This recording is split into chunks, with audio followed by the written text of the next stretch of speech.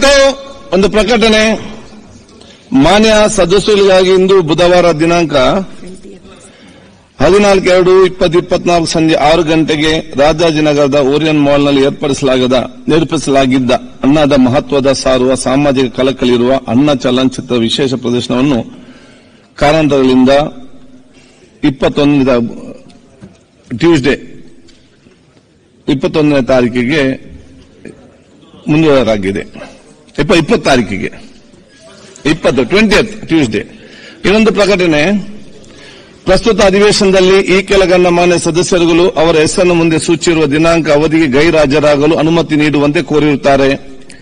S D ತಮ್ಮಯ್ಯ, ಹದಿಮೂರು ಎರಡು ಇಪ್ಪತ್ತು ಇಪ್ಪತ್ನಾಲ್ಕರಂದು ಟಿಡಿ ರಾಜೇಗೌಡರು ಹದಿನಾಲ್ಕು ಎರಡು ಇಪ್ಪತ್ನಾಲ್ಕರಂದು, ಅನಿಲ್ ಚಿಕ್ಕಮಾದು ಹನ್ನೆರಡು, ಎರಡು ಇಪ್ಪತ್ತು ಇಪ್ಪತ್ನಾಲ್ಕರಿಂದ ಇಪ್ಪತ್ಮೂರು, ಎರಡು ಇಪ್ಪತ್ತು ಇಪ್ಪತ್ನಾಲ್ಕರವರೆಗೆ ಎಂ ಚಂದ್ರಪ್ಪ, ಹನ್ನೆರಡು, ಎರಡು ಇಪ್ಪತ್ತು ಇಪ್ಪತ್ನಾಲ್ಕರಿಂದ ಹದಿನಾಲ್ಕು, ಎರಡು ಇಪ್ಪತ್ತು ಇಪ್ಪತ್ನಾಲ್ಕರವರೆಗೆ ಡಿ. ವೇದವ್ಯಾಸ್ ಕಾಮರ್ಸ್, ಹನ್ನೆರಡು, ಎರಡು ಇಪ್ಪತ್ತು ಇಪ್ಪತ್ನಾಲ್ಕರಿಂದ ಹದಿಮೂರು, ಎರಡು ಇಪ್ಪತ್ತು ಇಪ್ಪತ್ನಾಲ್ಕರವರೆಗೆ ರಾಜ ವೆಂಕಟಪ್ಪ ನಾಯಕ್, ಹನ್ನೆರಡು, ಎರಡು ಇಪ್ಪತ್ತು ಇಪ್ಪತ್ನಾಲ್ಕರಿಂದ ಇಪ್ಪತ್ಮೂರು, ಎರಡು ಇಪ್ಪತ್ತು ಇಪ್ಪತ್ನಾಲ್ಕರವರೆಗೆ ಸದ ಸದರಿ ಸದಸ್ಯರುಗಳ ಅಧಿವೇಶನ ಅಧಿವೇಶನಕ್ಕೆ ಗೈರ್ ಹಾಜರಾಗಲು ಕರ್ನಾಟಕ ವಿಧಾನಸಭೆಯ ಕಾರ್ಯವಿಧಾನ ಮತ್ತು ನಡವಳಿಕೆಯ ನಿಯಮ ಇನ್ನೂರ ಮೂರರ ಮೇರೆಗೆ ಸದನದ ಸಹಮತಿ ಇದೆ ಎಂದು ಭಾವಿಸಿ ಅನುಮತಿ ನೀಡಲಾಗಿದೆ. ಚಲಸ್ವಾಮಿ ಜಲಸ್ ಅದೇ ಡಿಸ್ಟ್ರಿಕ್ಟ್ ಮಿನಿಸ್ಟರ್ ಮಂಡ್ಯದು ಚಲಸ್ವಾಮಿ ಅವರಿಗೆ ಏನೋ ಸ್ಟೇಟ್ಮೆಂಟ್ ಮಾಡ್ಲಿಕ್ಕಿದೆ ಅಂತೆ ರವಿ ಅವರ ಮಾತು ಮಂಡ್ಯದ ಬಗ್ಗೆ ಅವರು ಮಾತಾಡ್ತಾರೆ ಅಂತ ಹೇಳಿದ್ದಾರೆ. ಅಷ್ಟೇ ಅಷ್ಟೇ ಮಾತಾಡ್ತೀನಿ ಇಲ್ಲ ಅವ್ರು ಚಲಸ್ವಾಮಿ ಮಾತಾಡ್ತಾರೆ ಅಲ್ಲ. ಮಾತಾಡ್ತೀನಿ ಮಾನ್ಯ ಅಧ್ಯಕ್ಷ ರಾಜ್ಪಾಲ್ ಭಾಷೆ ಒಂದು ಕ್ಲಾರಿಫಿಕೇಶನ್ ಅಷ್ಟೇ ನಮ್ಮ ವಿರೋಧ ಪಕ್ಷ ನಾಯಕರು ನನ್ನ ಆತ್ಮೀಯರು ಆದಂತಹ ಅಶೋಕ್ ಅವರು ಬೆಳಗ್ಗೆ ಮಾತನಾಡ್ತಕ್ಕಂಥ ಸಂದರ್ಭದಲ್ಲಿ ಮಾಹಿತಿಗಳು ತಪ್ಪಾಗಿರೋದನ್ನ ನಾನು ಸ್ಟೇಟ್ಮೆಂಟ್ ಮಾಡಬೇಕು ಅಂತ ತಮಗೆ ವಿನಂತಿ ಮಾಡಿದ್ದೀನಿ. ಒಂದು ಮಂಡಲ ಗ್ರಾಮ ಪಂಚಾಯತಿನಲ್ಲಿ ರೆಜುಲೇಷನ್ ಮಾಡಿ ಅನುಮತಿ ಕೊಟ್ಟು ಅದನ್ನ ನಿರಾಕರಿಸಿದ್ದಾರೆ ಅಂತ ಹೇಳಿದ್ದಾರೆ.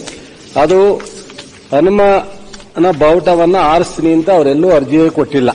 ಅಥವಾ ಧಾರ್ಮಿಕ ಫ್ಲಾಗ್ ಅನ್ನ ಆರಿಸ್ತೀವಿ ಅಂತ ಹೇಳಿ ಅವರಿಗೆ ಅರ್ಜಿಯನ್ನ ಕೊಟ್ಟಿಲ್ಲ.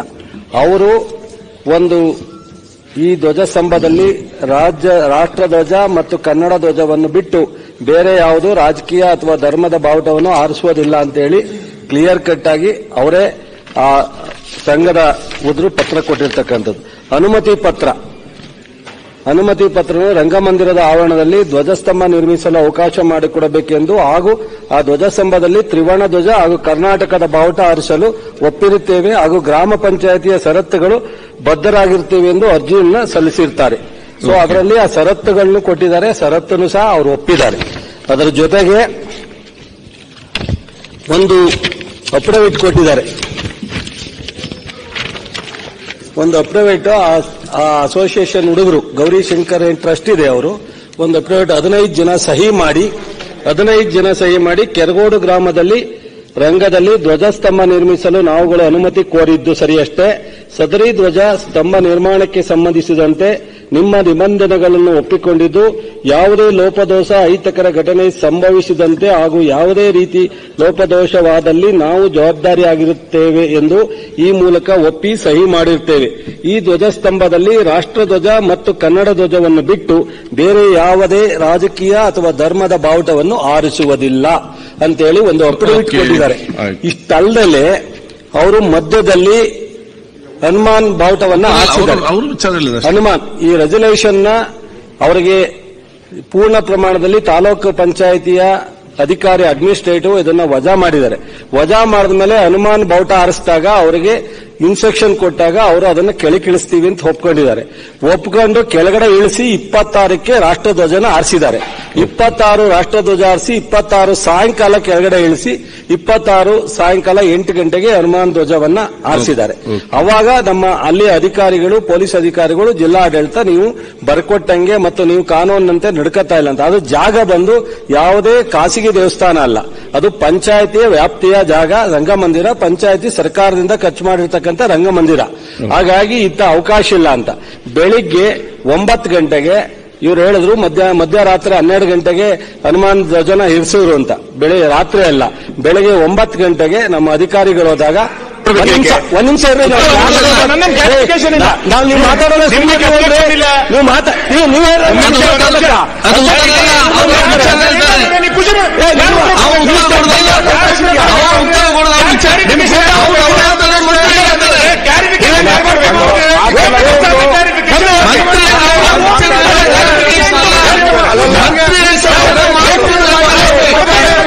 ಮಾಡ್ತಾರೆ. ಆಯ್ತು, ಆಯ್ತು, ನಿಯಮ ಹೇಳೋದಕ್ಕೆ ಅವ್ರು ಮಾಹಿತಿ ಕೊಟ್ಟಿದ್ದಾರೆ. ಅದು ಚರ್ಚೆ ಮಾಡುವುದು ಮಾಹಿತಿ ಕೊಡ್ಲಿಕ್ಕೆ ಆಯ್ತು ಮಾತಾಡಿದ್ದಾರೆ.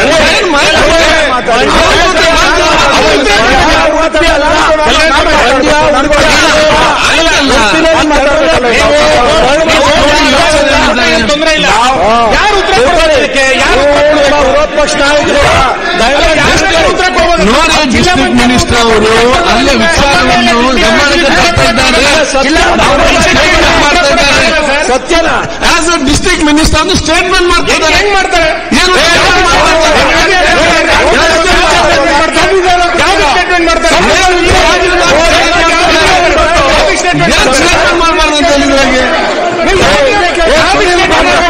ಅಂತ? ಸರ್ಕಾರದ ಪರವಾಗಿ ಯಾವುದೇ ಮಂತ್ರಿಯೂ ಹೇಳಿಕೆ ಮಾಡಬಹುದು it is the statement of government ಸರ್ಕಾರದ ಅದು ನಿಯಮಾವಳಿಯಲ್ಲಿ ಇರೋದು ಹಾಗೆ ವಾಡಿಕೆನೂ ಹಾಗೆ ಸಂಪ್ರದಾಯನೂ ಹಾಗೆ. Any minister can answer on behalf of the government ಗೊತ್ತಿದೆ. ಹೇಳ್ಬೇಕು? ಗೊತ್ತಿರೋ ವಿಷಯ ಹೇಳ್ತೀರಿ. ಗೊತ್ತಿರೋ ವಿಷಯನ ಉಲ್ಲೇಖ ಮಾಡ್ತೇವೆ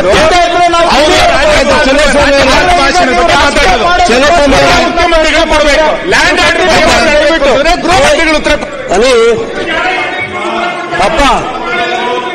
ಯಾರು ಉತ್ತರ ಕೊಡಬೇಕು ಕೊಡಬಾರ್ದು ಅನ್ನೋದನ್ನ ಸಭಾಧ್ಯಕ್ಷರು ತೀರ್ಮಾನ ಮಾಡ್ತಾರೆ. ಮಾಡ್ಲಿ ಬಿಡಿ. ಈಗ ಆಯ್ತಾ? ಸಚಿವರವರು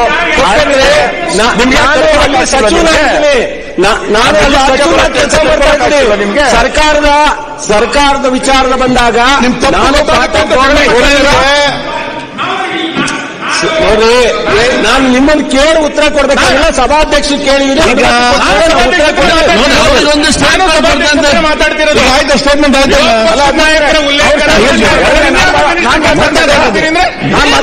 ಚರ್ಚೆ ಅದರಲ್ಲಿ ಮಾಡ್ಮೇಲೆ ನಾನು ಮಾತಾಡ್ಬೇಕಲ್ಲ ನಾನು ಕ್ಲಾರಿಫಿಕೇಶನ್ ಕೊಡ್ಬೇಕಲ್ಲ? ಕ್ಲಾರಿಫಿಕೇಶನ್ ಸ್ಟೇಟ್ಮೆಂಟ್ ಮಾಡ್ಬೇಕು ಈಗ ನನಗೆ ಕ್ಲಾರಿಫಿಕೇಶನ್ ಅವ್ರು ಕೊಡ್ತಾ ಇದ್ದಾರೆ. ಅಲ್ಲ ನೀವು ಕ್ಲಾರಿಫಿಕೇಶನ್ ಕೊಡೋದಲ್ಲ ನೋಡಿ ನಿಮ್ಗೆ ತಿಳಿದ ವಿಚಾರ ವಿಚಾರ ಹೇಳಿದ್ದೀರಿ ನನ್ನ ವಿಚಾರಕ್ಕೆ ಹೋಮ್ ಮಿನಿಸ್ಟರ್ ರಿಪ್ಲೈ ಕೊಡ್ತಾರೆ. ಓಮ್ ಮಿನಿಸ್ಟರ್ ರಿಪ್ಲೈ ಕೊಡುದು. ಈಗ ಯಾರು ಬೇಕಾದ್ರೂ ಮಾತಾಡೋಣ ಏನು ಕ್ವಶನ್ ಹೋಮ್ ಮಿನಿಸ್ಟರ್ ರಿಪ್ಲೈ ಮಾಡ್ತಾರೆ reply home minister reply minister ಅಷ್ಟೇ ಅದಕ್ಕೆ ಅವ್ರ ಅವಕಾಶ ಇಲ್ಲ. ಅಲ್ಲ ಅಲ್ಲ ಅಲ್ಲ. ಅಧ್ಯಕ್ಷ ಒಂದ್ ನಿಮಿಷ ಸರ್? ಒಂದ್ ನಿಮಿಷ. ನಾಯಕರು ಒಂದು ನಿಮಿಷ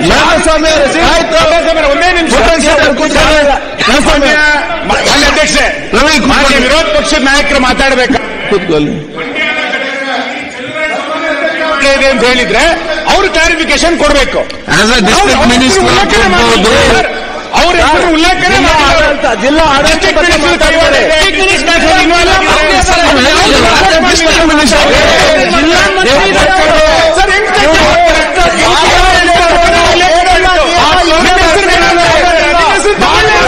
ಜಿಲ್ಲಾ ಆಡಳಿತ ನಿಮ್ಮ ಹೆಸರು ತಗೊಂಡಿದ್ದಾರೆ ನಿಮ್ಮ ಹೆಸರು ಸ್ಟೇಟ್ಮೆಂಟ್ ಮಾಡಬೇಕು?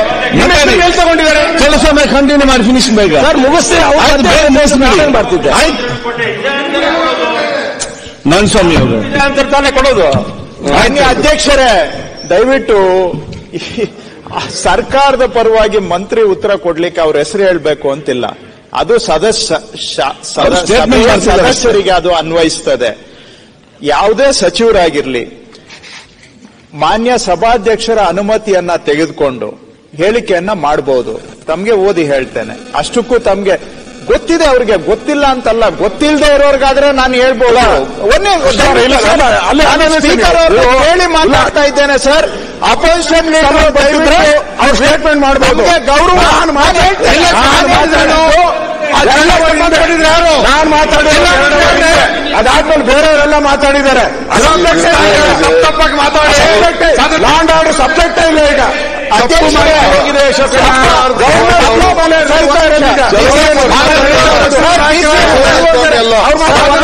ಸಂದೇಶ. ನಾನು ಕ್ಲಾರಿಫಿಕೇಶನ್ ಕೊಡ್ತೀನಿ ಮುಖಾಂತರ ಸದನ ಕೇಳಲಿಕ್ಕೆ ಬಯಸ್ತೇನೆ ತಮ್ಮ ಮುಖಾಂತರ with the consent of the speaker a minister may make a statement on a matter of public importance ಸಭಾಧ್ಯಕ್ಷರ ಅನುಮತಿಯ ಮೇರೆಗೆ ಸಾರ್ವಜನಿಕ ಪ್ರಮುಖ ವಿಷಯದ ಬಗ್ಗೆ ಮಂತ್ರಿಗಳು ಹೇಳಿಕೆಯನ್ನ ಮಾಡಬಹುದು ನಿಯಮ ಮುನ್ನೂರ ನಲವತ್ತ ಐದು ಆ ಸಭಾಧ್ಯಕ್ಷರ ಅನುಮತಿಯ ಮೇರೆಗೆ ಅವರು ಹೇಳಿಕೆಯನ್ನ ಮಾಡ್ತಾ ಇದ್ದಾರೆ ಸರ್ಕಾರದಲ್ಲಿ ನಾವು ನಡೆಸ್ತಾ ಇರೋದು ಮಾನ್ಯ ಅಧ್ಯಕ್ಷರೇ it is a form of collective government cabinet ಅಂದ್ರೆ every member of cabinet is responsible ಮುಖ್ಯಮಂತ್ರಿಗಳು ಕೂಡ is the first among the equals ವಿರೋಧ ಪಕ್ಷದ ನಾಯಕರ ಮಾತಿಗೆ ನಾನು ಕ್ಲಾರಿಫಿಕೇಶನ್ ಕೊಡ್ತೀನಿ. ಸಾರ್ವಜನಿಕ. Yes. ಸಾರ್ವಜನಿಕ ಮಾತೇನಲ್ಲ. ವಿರೋಧ ಪಕ್ಷದ ನಾಯಕರಿಗೆ ನೀವು clarification ಕೊಟ್ಟಿದ್ದಾರೆ. ತೋರಿಸಿ ನೀವು ಹೇಳಿದ್ದು ಕಾನೂನಲ್ಲ ಕಾನೂನಲ್ಲಿ ಇರೋದು ಕಾನೂನಾಗುತ್ತೆ ಕಾನೂನಲ್ಲಿ. ಹೇಳಿದಿರಿ ಕಾನೂನಲ್ಲಿ ಇರೋದು ನಾನು ಹೇಳ್ತೀನಿ, ಅವ್ರು ಹೇಳಿದ್ದು ಈಗ ಕಾನೂನಾಗುತ್ತೆ. You ಅದಲ್ಲ. can't dictate rules. ಸಾರ್ವಜನಿಕ ಮಾತದ್ದು ಅಂತ ಹೇಳಿದಲ್ಲ member of the government, sir sir sir making ಪಕ್ಷದ statement. ನಾಯಕರು ತಪ್ಪು ಮಾಹಿತಿ ಕೊಡಿ. ಅವರು factual ಸ್ಟೇಟ್ಮೆಂಟ್ ಮಾತದ್ದಲ್ಲ ಅವರು ಈಗ ಅಭಿಪ್ರಾಯ ಹೇಳ್ತಾ ಇಲ್ಲ.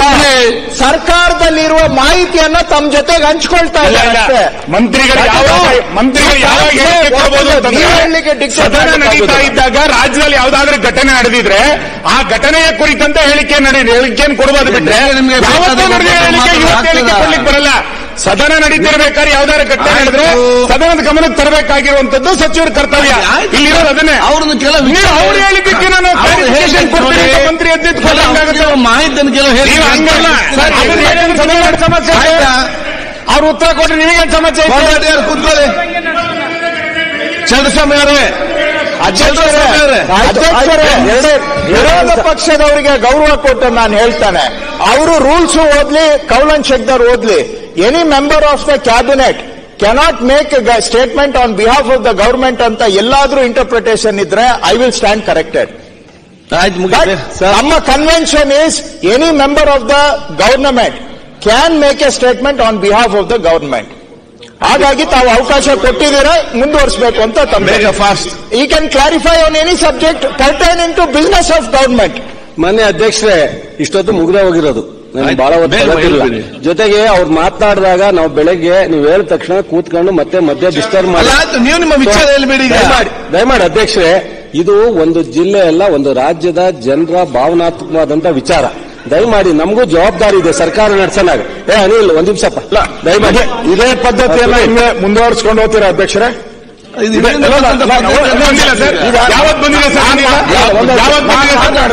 ನಾನು? ಮಾತಾಡಿದ ತಕ್ಷಣ ನೀವು ಅವ್ರಿಗೆ ಅವಕಾಶ ಕೊಟ್ಟಿದ್ರೆ ಅದು ಅರ್ಥ ಇತ್ತು ನಾನು ಇಲ್ಲ. ಮುಗಿದು ರಾಜ ರಾಜ್ಯಪಾಲರ ಚರ್ಚೆ ನಡೀತಾ ಇದ್ದು ಐದಾರು ಜನ ಮಾತಾಡ್ಬಿಟ್ರು. ತಿರ್ಗಿ ಮತ್ತೆ ಬಂದ್ಬಿಟ್ಟು ತಿರ್ಗಿ. ಚರ್ಚೆಯಲ್ಲಿ ಪಾಲ್ಗೊಳ್ಳೋದು ಬೇರೆ ಅಫಿಷಿಯಲ್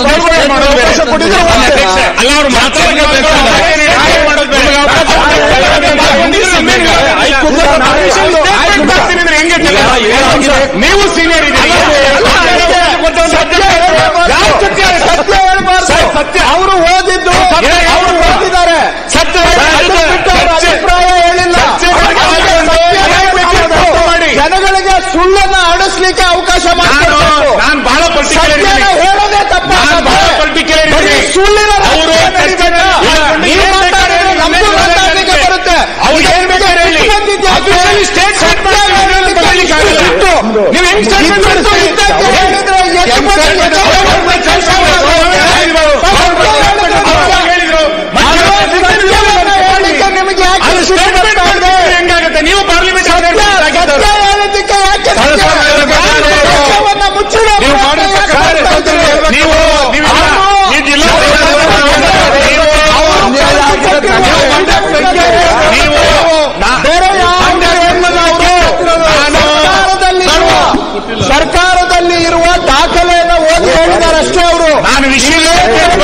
ಮಾತಾಡ್ತಿಲ್ಲ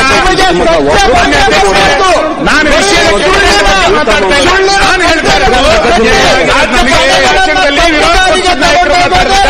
ಚರ್ಚೆನಲ್ಲಿ ಪಾಲ್ಗೊಂಡ್ರೆ ನನಗೆ ವಿರೋಧ ಇಲ್ಲ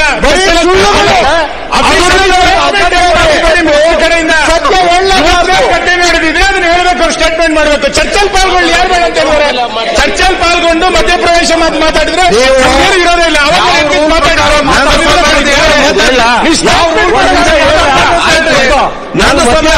ನಿಮಿಷ ಮಧ್ಯ ಪ್ರವೇಶ ಯಾಕೆ ಮತ್ತೆ ಚರ್ಚೆ ಮಾಡ್ತೀವಿ ಏನ್ ಮಾತಾಡಿ ಹೇಳಿ ಆಯ್ತು. ಅಧ್ಯಕ್ಷರೇ ಮಧ್ಯ ಅವ್ರು ಎದ್ದದ್ ಕೇಳಿದೆ. ಇಲ್ಲಿ ಯಾಕೆ? ಆಯ್ತು ಕಂಟಿನ್ಯೂ ಮಾಡಿ ನೀವು. ಆಯ್ತು ಅಧ್ಯಕ್ಷರೇ ಒಂದು ಅಪ್ಪಡವಿಟ್ಟನ್ನು ಅನ್ನು ಕೊಟ್ಟಿದ್ದಾರೆ. ಪಂಚಾಯತಿಗೆ ಗೌರಿ ಶಂಕರ ಟ್ರಸ್ಟ್ನವರು ಅರ್ಜಿ ಕೊಟ್ಟಿರ್ತಕ್ಕಂಥ ಇದೆ. ನಿಮ್ಮೆಲ್ಲವನ್ನೂ ಕಳಿಸ್ಕೊಡ್ತೀನಿ. ರೆಕಾರ್ಡ್ ತಪ್ಪಾಗಿ ಹೋಗ್ಬಾರ್ದು ಅನ್ನೋ ಕಾರಣಕ್ಕೋಸ್ಕರ ನಾನು ಎದ್ದು ಹೇಳ್ತಾ ಇದ್ದೀನಿ ಅದನ್ನ ನನಗೇನು ವಿರೋಧ ಪಕ್ಷದ ಮೇಲೆ ಫೈಟ್ ಮಾಡಬೇಕು, ಅಶೋಕ್ ಮೇಲೆ ಫೈಟ್ ಮಾಡಬೇಕು ಅಂತಲ್ಲ, ಮಂಡ್ಯ ಜಿಲ್ಲೆ ಬಹಳ ವರ್ಷದಿಂದ ಸೌಹಾರ್ದಿತವಾಗಿ ಜಾತ್ಯತೀತ ಮನೋಭಾವ ಇಟ್ಕೊಂಡು ಕುವೆಂಪು ಅವರ ತತ್ವವನ್ನ ಇಟ್ಕೊಂಡು ನಾವು ಯಾವುದೇ ಕಮ್ಯುನಲ್ ಕ್ಲಾಸಸ್ ಇಲ್ದಲೆ ಬಹಳ ಅನ್ಯೋನ್ಯವಾಗಿ ಹೋಗ್ತಿದೀವಿ. ರಾಜಕಾರಣ ಬಂದಾಗ ರಾಜಕಾರಣ, ಅದ್ ಬಿಟ್ಟು ಹೊರಗಡೆ ಬಂದಾಗ ನನ್ನ ಮಾತನ್ನು ಕೇಳಲ್ಲ, ಅವ್ರ ಮಾತನ್ನು ಕೇಳಲ್ಲ ಇನ್ನೊಬ್ಬರ ಮಾತನ್ನು ಕೇಳಲ್ಲ, ಅವ್ರದೇ ಆದಂತ ಗೌರವಯುತವಾಗಿ ನಡ್ಕೊಳ್ಳೋದು ಗೊತ್ತಿದೆ. ಅದನ್ನ ಮತ್ತೆ ಬದ್ದು ಬಂದು ಈ ತರದ್ನ ಮಾಡಿ